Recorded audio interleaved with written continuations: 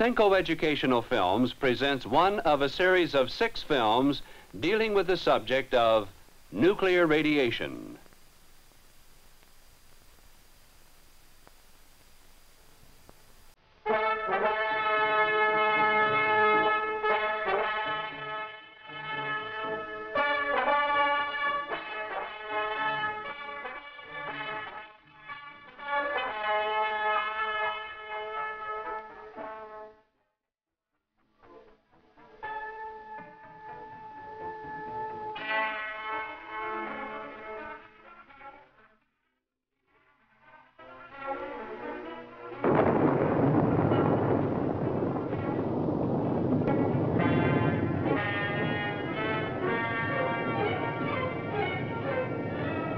Fallout is a vitally important subject.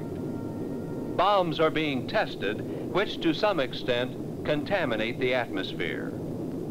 It is only natural that we ask ourselves, what is the extent of such contamination? And what are the possible results? The release of atomic energy is always accompanied by certain invisible but powerful radiations. Nuclear radiations, radiations which can be dangerous. Every time it rains, it rains radioactive particles which are in the atmosphere because of the testing of nuclear weapons. As a result, all of us acquire radioactivity through the food we eat and drink.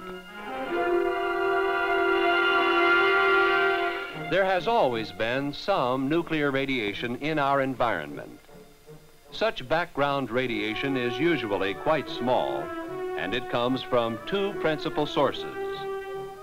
Naturally radioactive substances, such as uranium and radium, which are found in rocks and soil, and cosmic radiations, so named because they are thought to be produced beyond the Earth's atmosphere.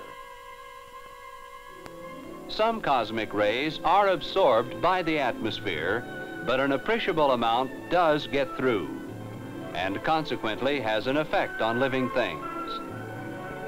Cosmic rays change part of the atmospheric nitrogen-14 to radioactive carbon-14. Carbon-14 in the form of carbon dioxide enters all growing plants during photosynthesis.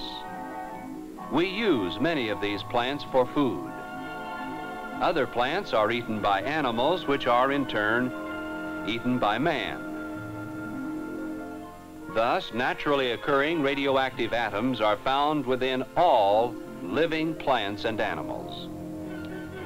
Every living thing is exposed to its own internal radiation as well as to radiation from the external background. In the more industrially advanced countries, such as ours, most people have also been exposed to man-made radiations from medical and dental x-rays. The average person in the United States receives roughly the same amount of radiation from x-ray and fluoroscopic examinations as he does from natural background radiations. The danger from the amounts of radiations thus received is thought to be relatively slight. However, two important facts should be clearly understood. Number one, radiation effects on living cells are cumulative. They add up over a period of time. Number two, most scientists would say that there is no minimum level of radiation below which no damage will be done. In recent years, the general public has become increasingly aware of the dangers from yet another source of radiation, fallout from atomic explosions. Every nuclear or thermonuclear bomb throws into the air a large cloud of radioactive particles. These man-made radioisotopes remain aloft for varying periods of time, but most of them eventually return to Earth. It is this return which is known as fallout. To simplify study of its distribution patterns, fallout has been divided into three classes, local, intermediate, and delayed. Local or close-in fallout consists of the heaviest particles. This type of fallout is also known as atmospheric fallout because the particles do not rise above the lower layers of the Earth's atmosphere. Their fallout distribution is affected by the local wind patterns. Atmospheric fallout is almost always restricted to the immediate area of the explosion.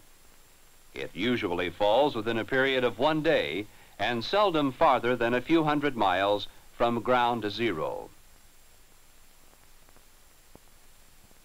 Intermediate fallout is composed of much lighter particles.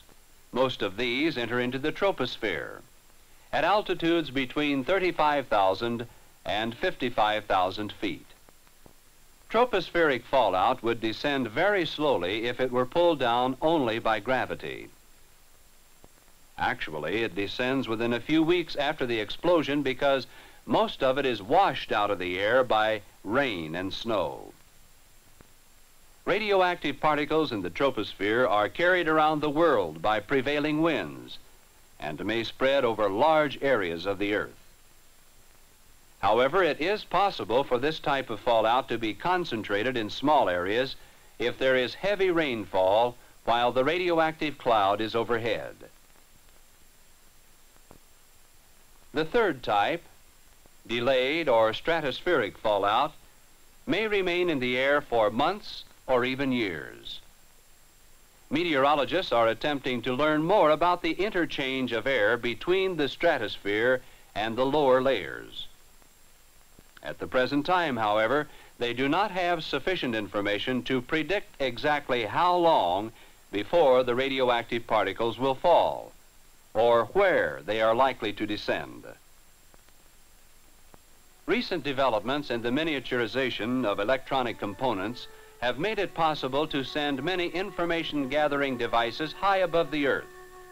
These include radiation detectors, which measure the amount and kinds of radiation present at various altitudes. Then these findings are radioed back to Earth. Exploratory balloons are also used to chart air currents. Thus, we have a clearer picture of probable fallout distribution. Our principal interest in radioactive fallout concerns the possible danger of biological damage. Will it hurt people? And if so, in what ways? And how much? For a moment, let's review the main principal types of radiation. Alpha particles have a relatively high mass, but their penetrating power is very slight. Alpha particles are easily stopped by a single sheet of paper. They will not readily penetrate human skin. However, alpha particle emitters are dangerous if they enter the human body, as in food. Beta particles are somewhat more penetrating. Their mass is much smaller, but their velocity is greater. Their penetrating power is such that it takes several sheets of paper or a thin sheet of aluminum to stop them. Still, as in the case of alpha particles, betas from radioisotopes must actually be emitted inside the body before any great damage can be done. Gamma rays, which are similar in character to X-rays, are very penetrating. Gamma radiations can be stopped only by massive shielding. They are extremely dangerous from outside the body as well as from within. Radioactive fallout includes radioisotopes which emit all three, alpha particles, beta particles, and gamma rays. Fortunately, most of the isotopes formed by the explosion of atomic devices have short half-lives. The total level of radioactivity caused by fallout fades quite rapidly. However, some bomb debris remains active for many years. It is the buildup of these products which is the cause for our concern. The long-term fallout problem particularly involves strontium-90, cesium-137, and carbon-14. Strontium-90, because of a unique combination of properties, probably represents the greatest danger. It is one of the more abundant fission products.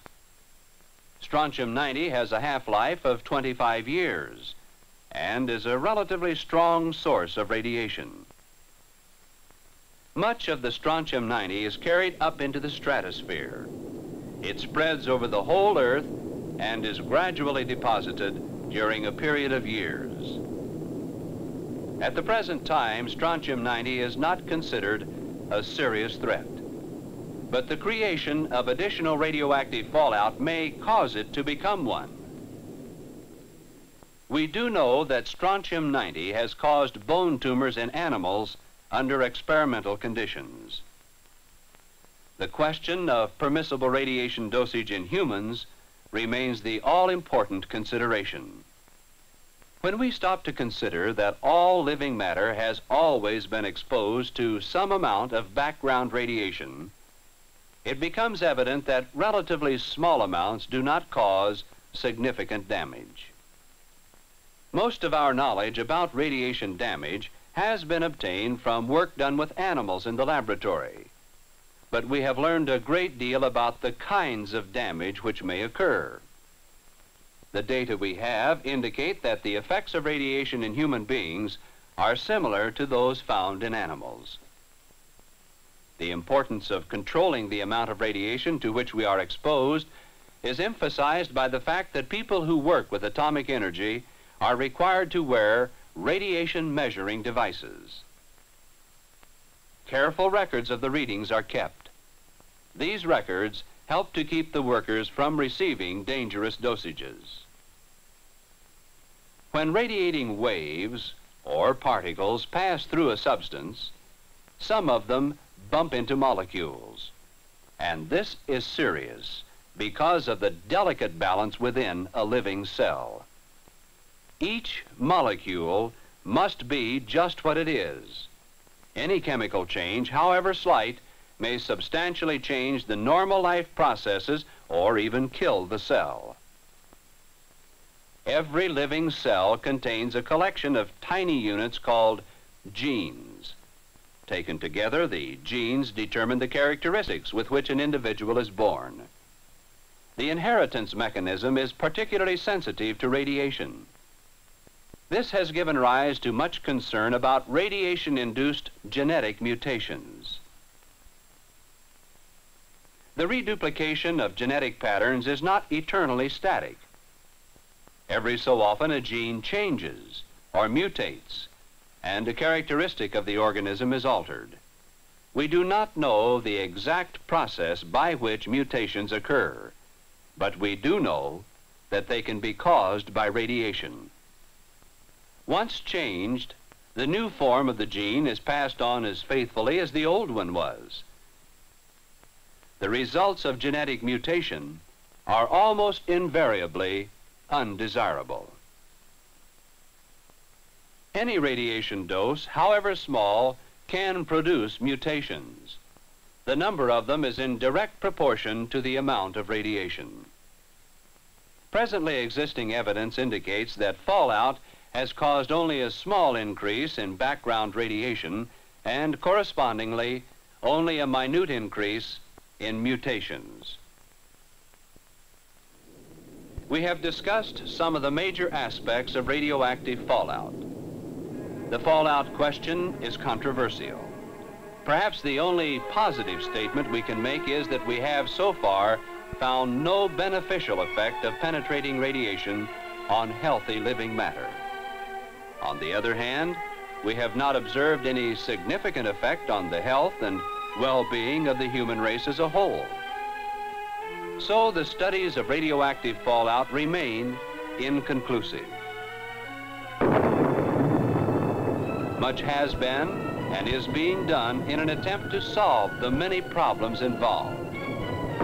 But this we know, mankind needs to proceed with caution knowing that only the future will produce scientifically acceptable answers.